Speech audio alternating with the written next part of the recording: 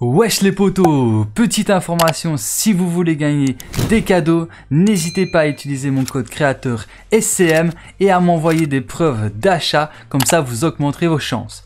Et sur ce, je vous souhaite à tous une bonne vidéo, let's go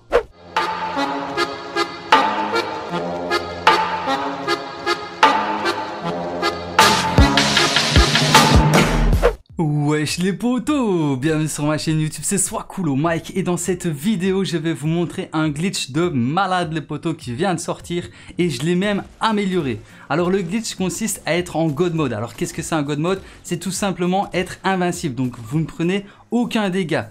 Alors moi j'ai amélioré le glitch et maintenant je peux même vous dire que je suis invincible plus invisible et que je peux tirer carrément en utilisant mon arme. Parce que normalement le glitch de base c'est que vous êtes en God mode mais vous ne pouvez pas utiliser votre arme. Mais j'ai trouvé une solution pour que vous puissiez carrément tirer en étant invisible et en étant en God mode. Donc même s'il tire au hasard et qu'il vous touche, bah, ça ne vous tuera pas.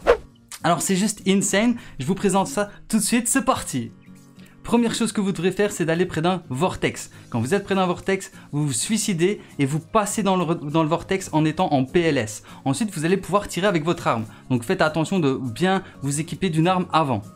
Ensuite, votre collègue vous transporte jusqu'à une toilette de téléportation. À ce moment-là, il vous réanime. Par contre, faites en sorte d'avoir une arme dans vos mains quand il vous réanime. Si vous avez vos constructions en main, ça va bugger, ça va pas fonctionner correctement.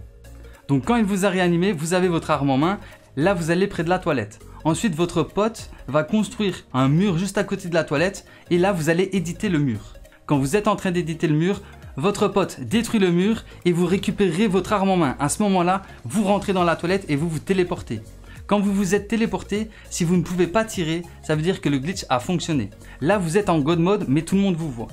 Alors maintenant, pour être invisible, ce que vous devez faire, c'est de rentrer dans un véhicule. Moi, je suis rentré dans un bateau et ensuite, quand je suis sorti, j'avais comme des petits coups de lag de TP. Et là, plus aucun ennemi ne me voyait. Mais c'est pas tout, parce que dès que vous sortez du bateau, vous pouvez utiliser l'arme que vous êtes équipé. Vous pouvez recharger, tirer, etc. Par contre, si vous switchez d'arme, ou que vous mettez vos constructions en main, ou que vous prenez la pioche, vous ne pourrez plus utiliser votre arme. Alors pour la réutiliser, il va falloir remonter dans un bateau, et puis là, vous pourrez réutiliser l'arme.